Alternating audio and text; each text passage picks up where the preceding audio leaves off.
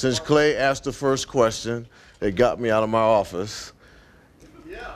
um, Uh, So Nike doesn't force feed these things to you. Do you collaborate? Do they send you something? What's the decision-making process? Have you ever turned down one of their ideas? Uh, yes, we have uh, turned down one of their ideas, but let me explain the process. And, and I can't remember what year we started uh, with the uh, retro jerseys uh, and uniforms, but they'll bring a design to us. We'll look at the design, we'll kick it around, we'll get some input, and we'll make some modifications uh, based upon what we think or feel should be added. Uh, this particular weekend, that occurred as well. So we looked at um, the original design, and they have some very creative people, obviously. Uh, but we we did not uh, approve the original design, so we added some of the elements that you'll see this weekend, and that's happened every single year we've done that. Um, pretty much uh, the, the the colors, the stripes um, uh, on the side of the pant in particular. Um, I can't remember the helmet part. I wasn't a part of that piece, uh, but the, the the numbers, the color of the numbers on the jerseys were darker, uh, so we added more scarlet into it. Austin, and then go ahead, um, Ben afterwards, yeah. Gene, how do you balance, how do you find that balance between wanting to maybe embrace uh, a trend or something that the recruits might want or the kids want with maybe a segment of the fan base that only wants That's the see- difficult part. Yeah, you're in it. You're right in the right in the middle of it. You know, we're blessed here. You know, we're at an institution that has such great, rich tradition and history. Uh, you have to make sure you respect that. Um, and there's certain things be, that become untouchable in that regard. Hang on, Sloopy. I mean, it becomes untouchable. Uh, but at the same time, you have to recognize that uh, our demographic is changing. You know, our world is changing. We have 30,000 students that come to all of our football games. And then recruiting has changed. Our competitors have changed. So there's that balance of respect, uh, our history and tradition, but also moving ourselves further into the 21st century, uh, which, you know, kind of the, the landscape defines that for you. And the uniforms are part of that. It's not something that we'll do every game. You know, I get a couple emails from people say we're not Oregon. You're right. We're not Oregon, and we're not going to be Oregon. We're Ohio State University, and we're going to pick one game every single year where we try and do this. Good question. Ben? You mentioned you have worn the alternates and the throwbacks in the past, but this is a pretty drastic change, changing the colors of the home jerseys. Some people thought our first one was drastic. it's just a matter of where you sit. Is this something that Nike has been pushing for a while and you guys were resistant to, or is this something that they offered the black jerseys and you said, okay? no, the black uh, hasn't been one that they've been pushing for a long time. I think maybe it was two years ago they first surfaced the idea. In fact, we're looking at next year's right now. So you guys understand the ordering cycle, we have to make decisions now on next year because because of the, the way things are manufactured. So we're going through that process now of determining if we're going to do it, what it would look like, what modifications we make. Uh, so it's not something that they push. Is this something you were, or, or the program was initially resistant to?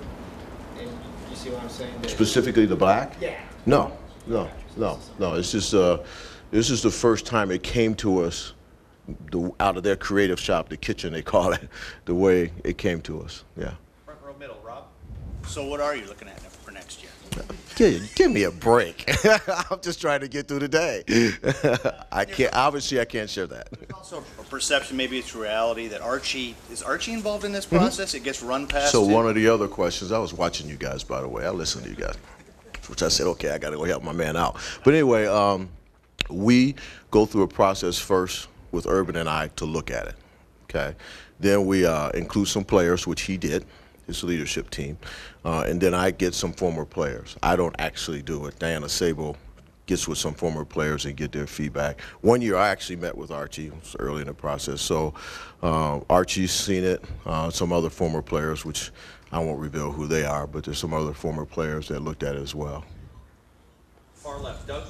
Um, So this seems to be not just a, a uniform thing, but I know you guys are calling it Dark Night of the Shoe, and you have some T-shirts. Actually, we're not athletically. I mean, that's coming from other places. You know, we're not driving that as an athletic department. There were T-shirts in my grocery store.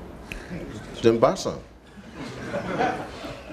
I'd be unethical. Why? Uh, they like them in Cleveland. But, but is it, is it, is this? We do not have a promotion that's a dark out from athletics.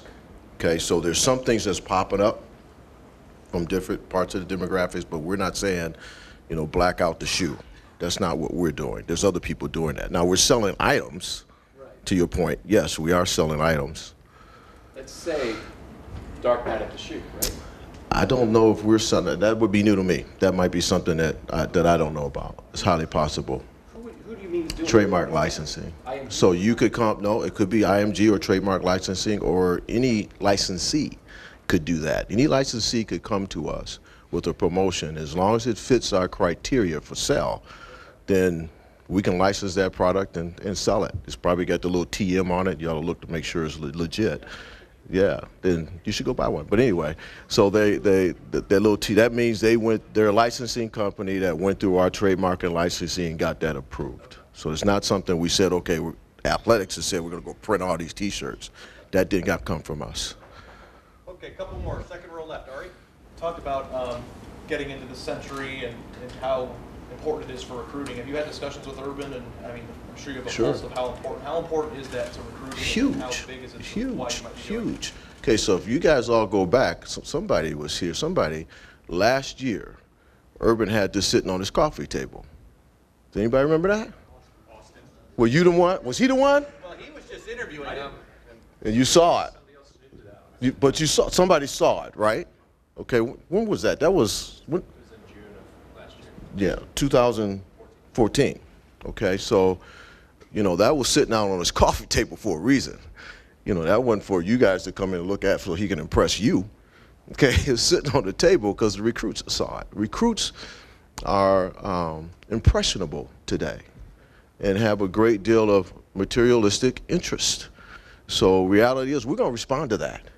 You know, we, we have our job, our core mission is our student athletes that we serve, first and foremost. And that includes the recruits that we're trying to attract. So yes, we talk about recruiting all the time, which is why we have a waterfall in the locker room that you can't walk through. You know, I'm old school. When you say waterfall, I figure I can go underneath it, right? and Get my hair wet. Killing me. But anyway. Yeah, Gene, a lot of numbers come out every year about, you know, Michigan sells this, Ohio State sells this, and Ohio State in some years is number one in mm-hmm. college marketing and all these other things. I would think a promotion like this to mm-hmm. encourage people to purchase a brand-new product could create an amazing windfall for Ohio State trademark and licensing, the athletic department, Right. whoever you want to call it. Mm-hmm. Have you guys put an estimate or a price, a number on how much money this one event, th- these jerseys, all the black paraphernalia is going to bring Ohio State? no, we have not. But we can get that for you when it's all said and done. Ballpark. I mean, what do you- I can't do that. I, I really can't. I, I've never looked at it. I really, honestly, I've never looked at it. You know, my I look at spikes that are like the bowl game. The spike that you're talking about won't be huge. It won't be sign- it won't be huge. But we can get that for you. Uh, Rick Van Brimmer. No, no, no, no, no, no. Keep in mind the the items that were sold were sold on Saturday in one day. So, okay, let me back up. So, was it last Saturday or Saturday before? Uh, Indiana Saturday. Indiana Saturday. So the, it was announced that Friday and nine o'clock that Saturday, all the Nike items were sent to the stores already and available for sale at nine o'clock that morning. They were gone by mid-afternoon.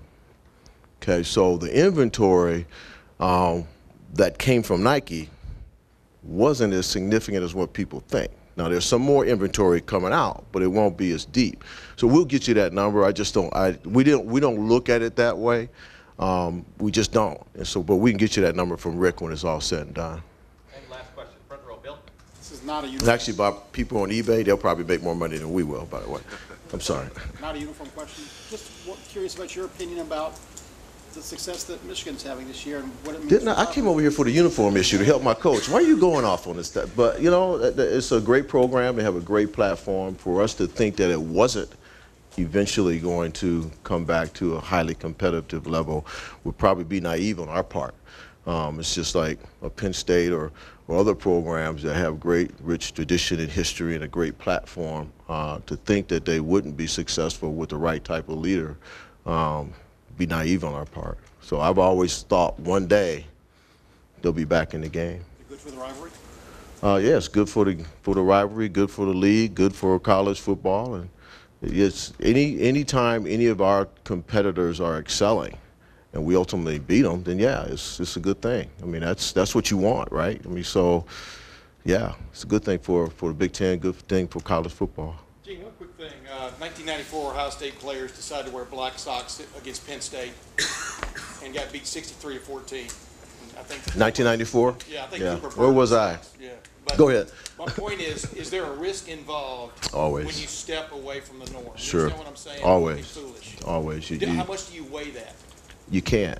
I mean, you go back to your core values of what you're trying to accomplish and, and your principles and your planning principles. And the, the principles around this is uh, this, the, the self-esteem and, and with our student athletes when they come out of that locker room um, and, and, and the impact it has on recruiting.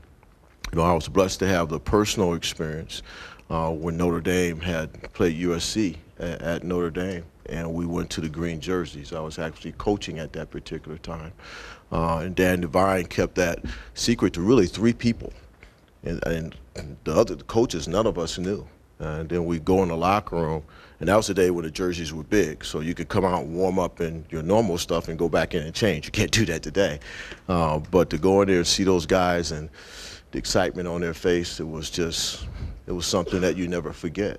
And so you go back to what's the impact does it have on a Joshua Perry, on a Darren Lee, on a Tyvis Powell, on those guys, and or a Taylor Decker, because he would tell you he preferred to wear black rather than white. Uh, so you so you get into those conversations and you know what it really means. So you you take the risk. Every, there's a lot of things we do that where there's risk, and you just have to evaluate the weight of that risk.